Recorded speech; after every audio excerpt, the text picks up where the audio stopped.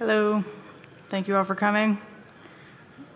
Um, my name is Jennifer Hamon, and I've been an engineer at Pivotal for about four years. I spent about the last two of those years working on the UAA, which for anyone who doesn't know is the identity and authorization component within Cloud Foundry. And as part of that work, I've really had a lot of opportunities to connect with other teams that are using UAA, um, other release authors, trying to integrate different pieces of the component, as well as working with customers, uh, and learning a lot about where their pain points are with the UAA.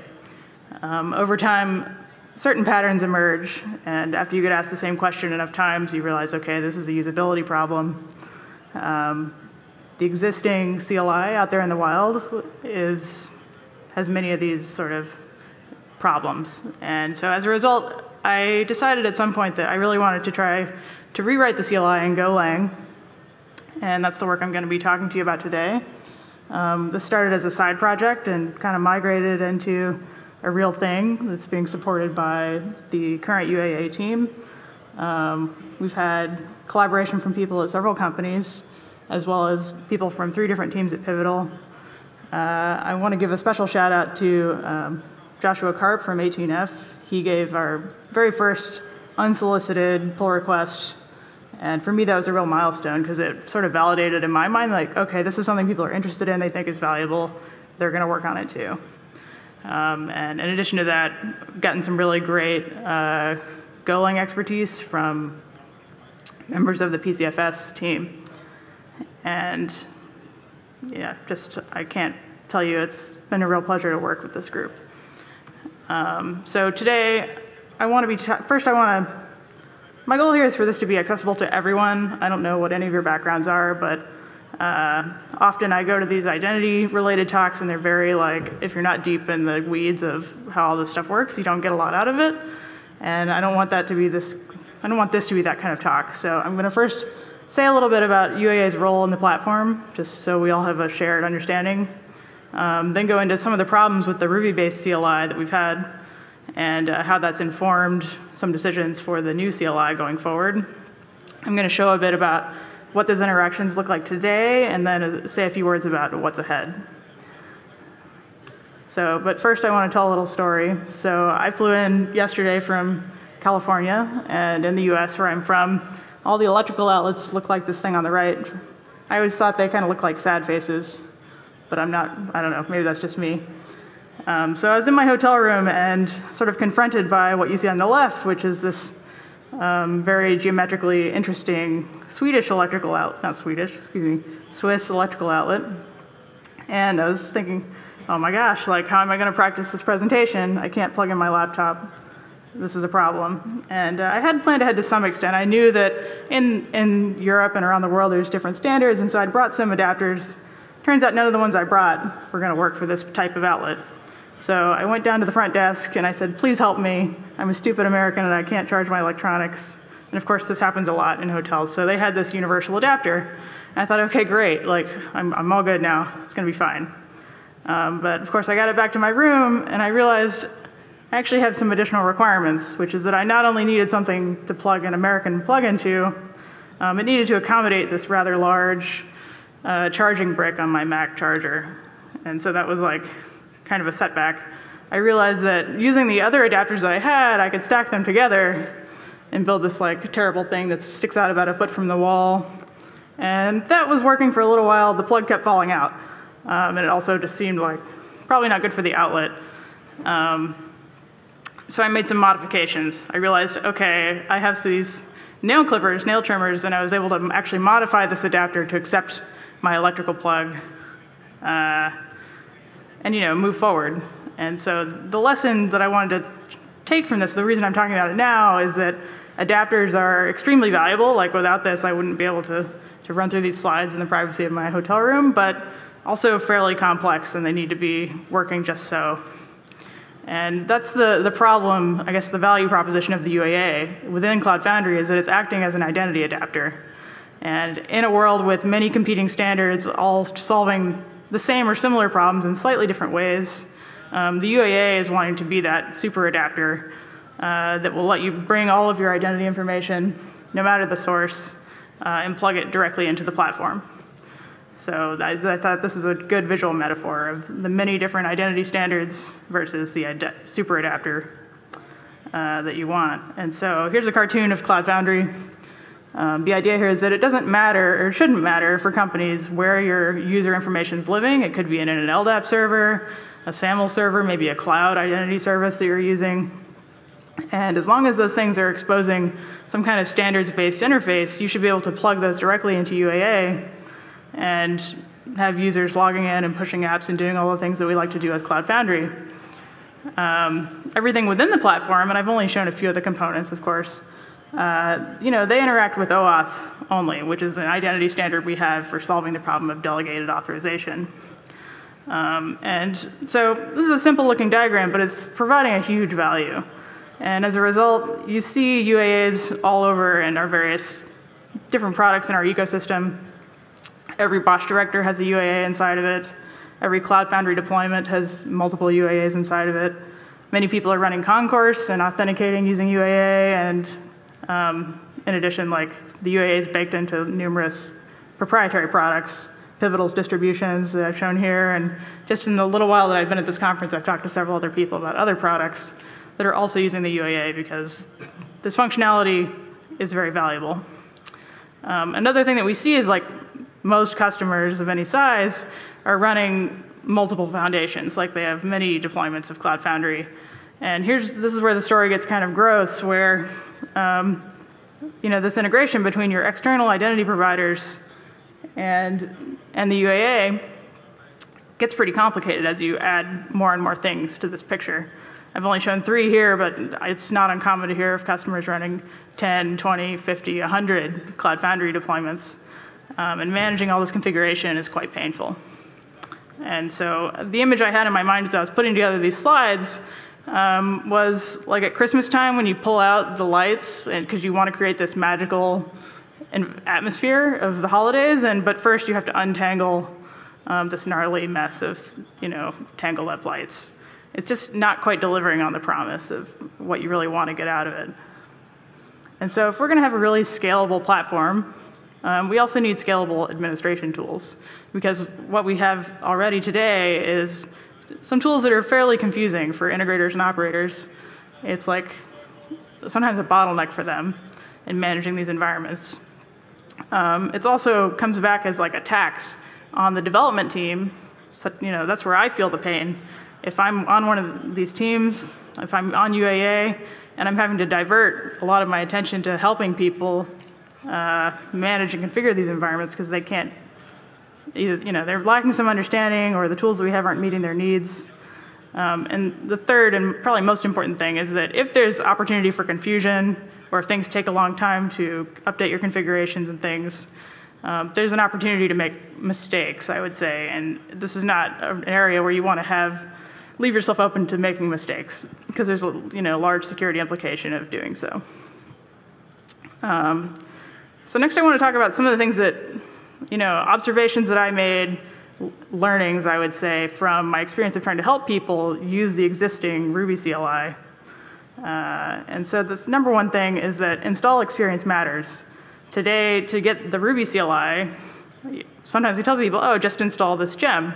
Gem install CFUAAC. And that's, if you're a Ruby developer, that's like, all right, great, we're all good. Um, but most people are not Ruby developers. And uh, we see that, you know, actually in the real world, people sometimes need to do these things in air-gapped environments. Sometimes they're operating on a Windows platform where it's difficult to get Ruby installed. And, you know, even frankly, if they're not under any of those constraints, if you're not a Ruby developer, it's kind of like, it's just not reasonable to tell someone first install a development environment that you don't care about in order to use this tool. Um, yeah, and so what we've seen across many different projects is a shift towards using Golang for their CLIs. This is what you see with Docker. You see this with BOSH. I could name a bunch of others. Um, and it simplifies this process to simply download a binary and run it. Um, and so that sort of was guiding our choice um, because we're sort of achieving this benefit. The Go Golang has made it very easy to compile binaries for different platforms. Um, and also, we're able to leverage CLI frameworks because so many people are writing CLIs in Go now. There's actually really great tooling around doing that. So we don't have to reinvent the wheel on how do you parse command line options, uh, things of that nature. So it's pretty easy. The next thing I sort of observed is that like ecosystems tend to seem to guide people's expectations for how to use a CLI. Um, I can't tell you the number of times I've had people say, okay, I found these, this documentation that told me to do this command, UAAC token client get. But what does that mean? You know, and like the name of the command doesn't communicate any information about it. Uh, they're just like, they're very confused. So like cosmetically, right away, one thing that stands out is that we're not even naming this CLI in the way that other projects in this ecosystem are doing so. So if the BOSH CLI is called BOSH and the CF CLI is called CF, CredHub CLI is called CredHub, then naturally the UAA CLI should be called UAA. And so that's what you'll see now if you go check out the Golang CLI, it's called UAA. And this gives it an additional benefit that there won't be any confusion as we update documentation. You'll see documentation using this new CLI and it'll have this different name. I think that's one of the pain points that the BOSH community, people, users of the BOSH CLI, felt in the migration was that if you were looking at a piece of documentation, it wasn't immediately clear if you were dealing with the Ruby CLI or the newer Golang CLI. So this will help with that as well. Um, another thing that we see in these other CLIs that I consider to be part of our ecosystem is they follow this verb noun syntax. Sorry. Uh, there is, yes. If you, I'll show the link at the end, um, and you can go check it out. So it's, it's still a work in progress, I would say, but it, there's quite a lot of functionality already in it. Um, so this, uh, coming back to this slide, sorry, I didn't say, this question was, is the CLI available today? And the answer is yes. Um, all right, so coming back to this slide, uh, this we want to follow along with how other people are doing things and follow this verb noun. You know, in the UAAC Ruby tool, we had this sort of crazy subcommand system, which leads to confusion for a number of reasons. Um, people are often, I've been asked many times, what does token owner get mean? It means get a token with the password grant type. How would you know that? You wouldn't. Uh, and then people are also like, what's up with this get keyword? Why do you need that? Um, and it just doesn't really make a lot of sense. So we've kind of shifted to this verb noun syntax. I think these names are a little more clear. And they're quite long. There's obviously opportunity to introduce some aliases and things. But at least as a first pass, we wanted to get in line with these other tools. Um, number three, I would say, is that people do want to help themselves. And when they come to me for help, usually they've gone through a number of different things already. They try to Google search, uh, they've often tried to view help information in the CLI, which the Ruby CLI in the past didn't really include much useful information. Um, if they're customers, they've often reached out to our commercial support at Pivotal, and the Pivotal support person is escalating to me because they actually don't know the answer. And so that's just like, that's not a good experience for anybody. Um, I, so I really tried to push for having much better help inside the tool itself. And if you look at, these are just some example questions that we get a lot, like why doesn't my token contain the expected scopes? Or why do I need a client to get a token? Some of these like reveal a lack of understanding um, of the identity domain, the basic concepts about OAuth. Others, like this last question, what SCIM filters does UAA support? To me, that says the person has some knowledge about what, uh, what the spec is that they're trying to leverage. And so there's a wide range of knowledge levels that we see in our users. It's important to like try to meet them where they are. And so, you know, how that manifests in the CLI is that we want to have as much useful information in the help strings as possible. Um, and I'm sure you've probably all had the experience of looking at a man page, trying to figure out how to use a command and really not coming away with any useful understanding. So I didn't want to, I don't want to promote that. Um, and I've tried to include some realistic copy-pastable examples in the help strings, um, and also some like just really straightforward troubleshooting tips for common problems. Um, some of these other ones, like meaningful error messages, that's more aspirational. That's like a longer term thing that will require some changes in the UAA, I would say, the UAA server. Um, and actually, like just language, using the right words so that when people view something and they don't understand it in the help, they can go to the internet and find other resources.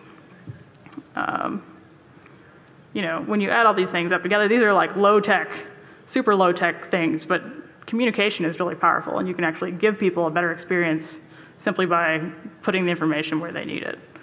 Um, and this is just a screenshot from one of the help strings um, for searching about users that's demonstrating like how can you query the UAA for certain things. Like how would you find a user whose email is bob at example.com? Well, there's an example right there. Um, and that's one less question coming to me in Slack because we have like actual real examples here.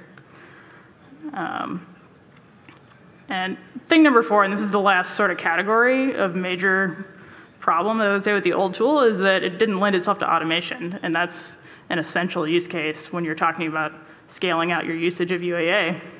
Um, here I've shown some example output from one of the commands of the old CLI that for some reason it, it looks like YAML-ish, but it's really not. And you're missing things like a colon here.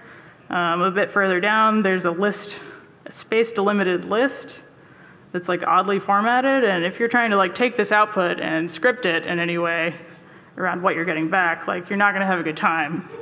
It's like, it's like really the worst case scenario because you, you initially have the reaction like, oh yeah, this is great, it's just YAML, and then no, it's really not. It's not YAML at all. And so super high priority has been the outputs from this tool, this new tool, need to be parsable consistently. Um, so far, we've done a lot with JSON because JSON, all, all JSON is also valid YAML. So if you have a tool that wants YAML, you can input JSON. It's kind of neat that way. Um, we've had like explicit testing around exit codes to make sure that when an error has occurred, the tool's going to like tell your script that something bad happened. Um, and then also thinking about making sure we can accept non-interactive inputs and environment variables, things like that. So that concludes sort of the overview of learnings. And next I want to shift into a bit of an example. It's a bit contrived. I want us to imagine uh, that we, the audience, are trying to create a client registration in the UAA for the CF CLI for the first time. So it's as if that CLI doesn't exist, and you're trying to develop it yourself. Um, so as in any OAuth thing. Well, first, OAuth is a standard for solving the problem of delegated authorization, which is a lot of words. What it basically means is you as a user want to use a piece of software to perform some actions on your behalf. And the OAuth standard describes these four different roles uh, that are involved in that type of thing. So resource owner, that's the user. I think we all know who that is. Um, in this scenario that we're talking about, the client, the thing that wants to perform actions on your behalf is going to be the CLI itself. The auth server, that's the UAA. Its job is to authenticate users. In other words, verify that they are who they say they are because they provided the username and password. Um, it also keeps track of what permissions users have and knows how to issue and validate tokens. And finally, the resource server, um, which is any, any API basically that requires a token to access it, um, would be said to be a resource server. So in our world, these roles, they map like this. So I've sort of called some of them out already. Cloud controller is the resource server. The client is the CLI. And so if you're in a scenario where the user wants to do a CF login, I hope we've all had this experience, you type, you, the user, type that into your computer, you provide your username and password to the CLI. The CLI will turn around and make a request to UAA to request a token. Uh, it passes some information with this request. It's going to send the client ID and client secret as well as the username and password. And assuming that all checks out, the UAA is going to reply back with the token that it asked for, which the CLI is going to save off in a text file. So that when the user types their next command, the user says, hey, I want a CF push. Well, now the CLI will say, okay, I can do that for you because I have a token. So now I'm going to request, I'm going to post your app over to Cloud Controller with this token.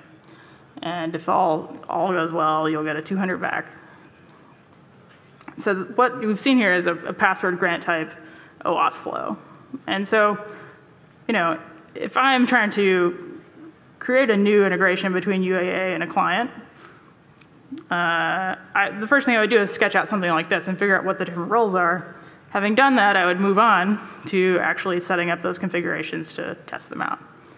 So uh, with the new CLI, or actually with any CLI, the first thing you always do is target the environment that you're hitting. I just put in a localhost URL, but in real life it would be some kind of UAA in the cloud. Um, the next thing I need to do is retrieve a token with an administrative scope because I need that token in order to do the other actions like creating a client, creating a user, all those things. So yeah, I just do this get client credentials token admin uh, command. Most distributions or uh, instances of UAA will have an administrative client in them. Obviously, your secret's not going to be admin secret. Um, but you would have to look in your deployment manifest or your ops manager credentials tab. It depends how you deploy your UAA. But some, someone available to you should know how to find that secret. And having done that, um, this UAA context command, you can use that to view the token that it retrieved. Um, so that's like kind of getting set up. Once you've done that, you can create a client like this. Um, and there shouldn't be any surprises here we have to provide the client ID, which is CF, and a client secret. In this case, the client secret is empty string. And the reason for that is that with the CF CLI, we want anyone to be able to download CF and point it at any uh, Cloud Foundry deployment. And the only way to accomplish that is by, to have a, like a, a constant value, a known constant value for the client secret. And someone back in the day decided that empty secret was the good value to use for known constant client secret. Uh, you have to tell the UAA what type of grant types are allowed to be used with this client. And finally, like what scopes does this client need? Now, the real CFCLI is requesting a lot more scopes than just Cloud Controller Admin, but if you putting yourself in the shoes of the person who's creating that client, you're not gonna add everything to begin with. You're gonna like start small and iterate. And so for this example, I just put in Cloud Controller Admin as a good starting place. Um, yeah, so that should succeed because we have a token with administrative scope. And before we can test it out, we have to also create a user. So this is kind of what a create user command would look like. I, I really enjoyed Dr. Seuss as a child. I've lately enjoyed sharing that with my nephews, so I always use Dr. Seuss in my examples. Um, pretty straightforward. You need a password and an email address. The names are optional. And we also need to assign uh, membership to our test user. So we're giving him membership in the Cloud Controller admin group. So this is where like it all comes together. So now that we have that client and we have that test user, we can use this different token command, get password token, passing all four pieces of information, the client ID, the client secret, the username, and the password to get that token. And this is exactly what the CFCLI does today. So from there, as an app developer or the developer of the CLI, I can continue iterating, like adding memberships and adding scopes um, to build up a token with all the capabilities that I need. Um, so where are we today? The gentleman in the front asked earlier, is this available today? And the answer is uh, yes. There is a publicly available Go CLI. It has most of the CRUD operations that you need on major resources like clients, users, and groups. We've also implemented all of the token commands for the major grant types, um, and, as well as the UAA curl command. And so the initial goal for this project was to replace the functionality of UAAC so that we can fully deprecate it. Uh, there's a few things still outstanding that I've listed here. I think external group mappings seems like the most important one because I know people use that quite a lot. Um, but overall, it's getting very close to feature parity with the Ruby CLI. And looking ahead, I think I've talked a lot about these things that are important for app developers. Um, where we really want to get to is having a nicer experience for platform operators who are configuring identity. This is future. This doesn't exist today. Um, but we've seen and learned from the experience of people with the BOSH CLI and the Fly CLI that when you have these really large configuration objects you need to manage, a file-based configuration is really the way to go. And so something like this, where you would have a YAML file to provide that configuration for your identity zones and identity providers, I think is where we're headed. So that's all I had to say. Um, thank you all for listening to my talk. I hope you'll check out the repo here at Cloud Foundry Incubator slash UAA CLI. Um, give it a spin and let us know any feedback. Um, let me check the time. Okay, we have about five minutes left, so if anyone has any questions, I'm happy to take them. No? All right. Thank you.